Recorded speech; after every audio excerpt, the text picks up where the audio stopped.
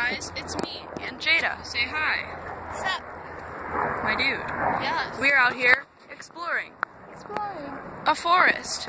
We just watched the third Blair Witch Project at 1 a.m. and we're kind of traumatized. Anyway, look at these woods. That's pretty funky, isn't it, Jada? Yes. It's very funky. I feel like the camera's just being kept on me.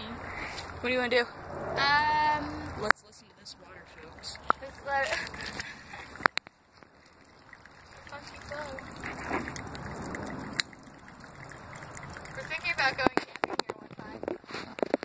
we stay the night, we might get possessed. Oh, come on now. It's a We gotta find the building. Gotta find the building. We gotta find Heather.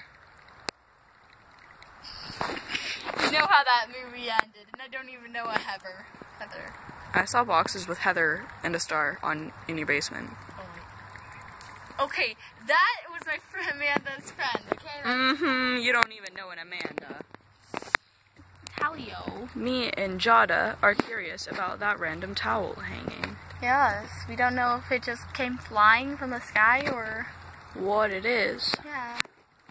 The water's pretty pretty creepy, actually. To be honest. Yeah, it's pretty murky. And we got whatever that is down there.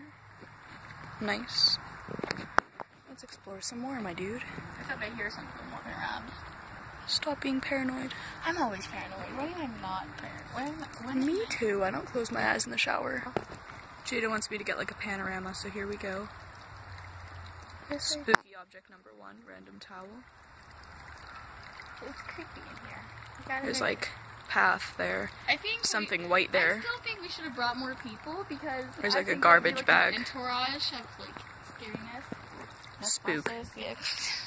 Of um. This this area is pretty creepy in itself. Like this tree is like broken off right there. Oh my god! It formed a triangle. We're gonna die. Only if we stay the night. So what you're saying is we should camp out sometime? Why are there two garbage?